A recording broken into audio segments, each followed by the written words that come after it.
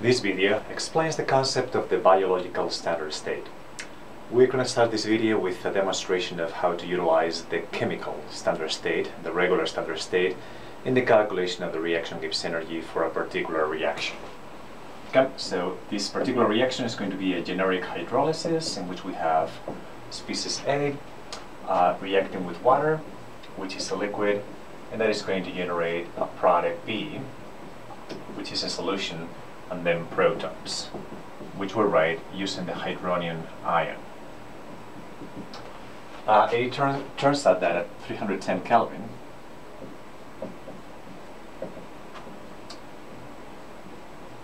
the reaction Gibbs energy at the standard state, the chemical standard state or the regular standard state. This is equal to minus 20.0 kilojoules per mole. And what we would like to do is calculate whether this reaction will be spontaneous or not at certain conditions uh, that are given by the concentrations of each one of the species. For A, that concentration is going to be uh, 1 millimolar. For B, the concentration is also 1 millimolar. And for the concentration of protons, we're going to assume that this reaction takes place inside our bodies, where the pH is tightly controlled, and the pH is going to be uh, about 7.4, right, which is a typical pH, for example, in blood. And that means that the concentration of the protons is going to be 3.98, 10 to the minus 8 molar. Okay. Those will be uh, reasonable conditions, again, under uh, um, in a living cell, for example. Alright, so um, what we're going to do then is try to calculate whether this reaction is spontaneous by computing the reaction Gibbs energy at these concentrations. And the way that we do, this is to write here uh, the expression that allows us to do that. The reaction Gibbs energy is, going, is going to be equal to the reaction Gibbs energy at the standard state plus uh, the correction that takes into consideration the uh, reaction quotient.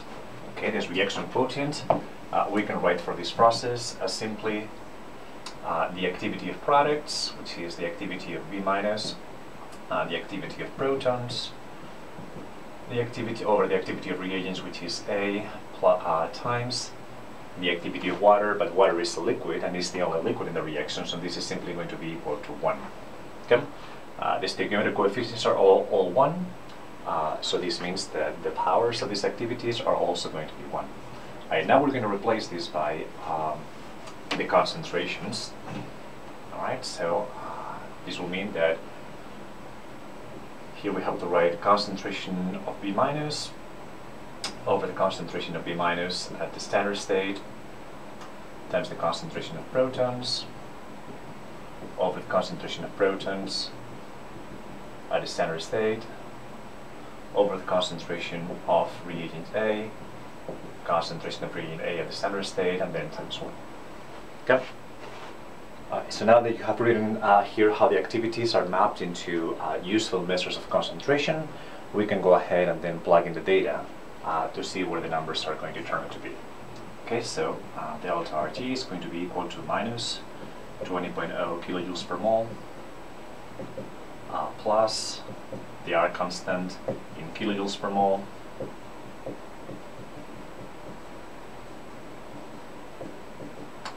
then the temperature is 310 Kelvin. And then we have here the natural log of uh, these concentrations, the, the ones that we actually have in the reaction mixture. Okay, so for B minus, that will be 1 millimolar, 1.0, 10 to the minus 3 molar divided over the uh, standard state concentration, which is 1 molar. For protons, that would be 3.98, 10 to the minus 8 molar over the reference concentration, which is 1 molar.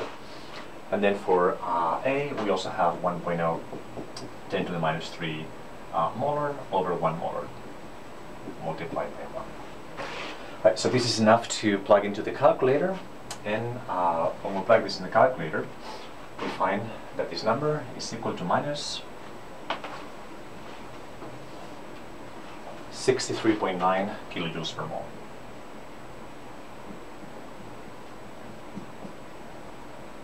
Okay, the important thing here is this uh, minus sign that tells you that this reaction will be spontaneous.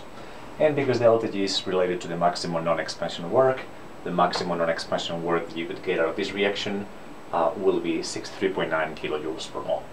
Alright, so uh, this is how we have proceeded until now using something that we call the regular or the chemical or simply the standard state. But something that should be uh, uh, shocking to you is that the standard state for protons that we have right here, okay, uh, is actually going to be always very far away from the actual concentration of protons that we have in under living conditions. Notice that a one molar concentration of protons would mean pH zero. And we know that, uh, again, under living conditions, very rarely you're going to have pHs that are so low. More regularly, for example, in blood, you're going to have pHs that are around 7 or so.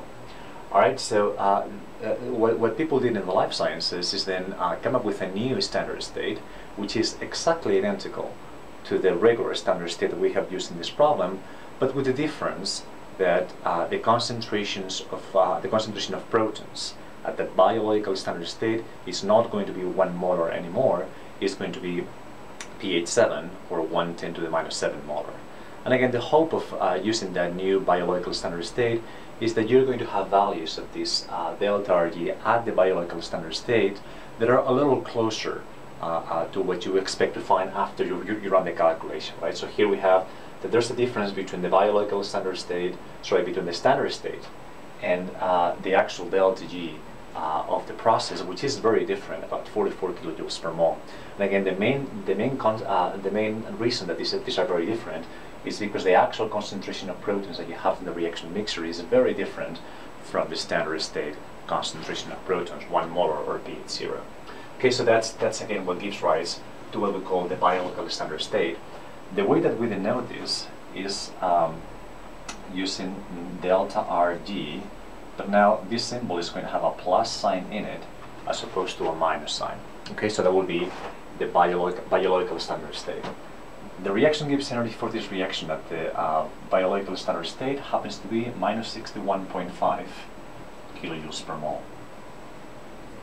Okay, so what we can actually do then is uh, uh, try to recalculate uh, this problem, but now using the biological standard state route, uh, which is going to give us uh, hopefully the same same number that we actually had. so let's see how we would operate with the biological standard state.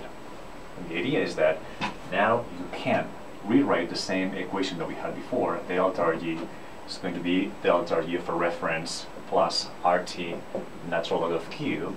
But instead of using here the standard state, we're going to be using the data at the biolog biological standard state, which is denoted with a plus. And then for clarity, we can write also that this reaction quotient is going to be applied, is going to have a biological standard state symbol uh, in it. Okay, so then uh, how do how do we proceed? Well, uh, the procedure will be exactly the same, right? So you uh, you would write here delta RG uh, plus RT natural log. Well, you will first write the uh, the Q, uh, which would mean the activities first. I'm going to step that. I'm going to skip that step, and instead write here um, the concentration of B minus that you have over the concentration of B minus at the biological standard state times the concentration of protons over the concentration of protons at the biological standard state plus concentration of A over concentration of A at the biological standard state times 1. Okay. Right, so now we're actually ready to plug in here the data for the biological standard state. Okay, the reaction Gibbs energy at the biological standard state is provided by the statement. Okay, so we're going to have here delta Rg is going to be equal to minus 61.5 kilojoules per mole plus uh, our R in kilojoules per mole Kelvin 8314 kilojoules per mole Kelvin temperature 310 Kelvin and uh, now we actually we have to write uh, the reaction quotient at the biological at the biological standard state. Okay, again, notice that the only difference between the regular or or chemical standard state is that all of the molar concentrations will are one molar. Okay, the reference concentrations are all one molar. In the biological standard state, all of the molar concentrations are still one molar, except for those of protons, which is pH 7 or 1 times 10 to the minus 7 molar. Okay, so when we come to this expression, we will get that the concentration of B is still 1.010 to the minus 3 molar. Okay, and the concentration of B at the, biological, at the biological standard state is 1 molar because B is not protons, it's a different species. Now, for protons, we will have that this is going to be the actual concentration that you have, 3.98 10 to the minus 8 molar, and this is the difference. Now, this concentration of protons at the biological standard state is not 1 molar, instead is pH 7, or 1 10 to the minus 7 molar. Okay, and for A, we have the same thing as for B. Those concentrations are 1 10 to the minus 3, but then the concentration at the biological standard state is equal to 1 molar times the activity of water, which is 1. Okay? So then when you plug in these numbers in your calculator, you get exactly the same number as what we did before. Okay, so this number is going to be equal to minus 63.9 kilojoules per mole. Okay, so uh, again, this problem presents two ways to solve uh, the same problem. One is using uh, the chemical or standard state, and another one is a new concept, which is using the biochemical standard state or the biological standard state. Uh, again, the only difference, uh, the, the, way that we use these two uh, standard states is just for convenience, right? So when we actually use conditions that are inside your body, it's much more convenient to use the biological standard state because again, it makes no sense to have a constant a reference concentration for protons that is pH zero because that's never going to be the case. Uh, right, so you're going to be much closer if you use a, a pH that is 10 to the minus 7, so that's what determines what the biological standard state. Notice that solving it one way or the other doesn't matter, you're actually going to get exactly the same results. Okay, again, we just go through, uh, through the biological standard state for convenience, uh, and the only thing that you have to remember is that again, the concentrations and the partial pressure of gases, if you had any gases here, uh, would all be the same for uh, any substance that is not a proton. And for protons, that's the only difference that you find. Uh, you will have that in the regular or chemical standard state, that concentration is 1 molar. But for the biological standard state, the molar concentration of protons okay, would be 1 10 to the minus 7 molar, which is the same thing as pH 7.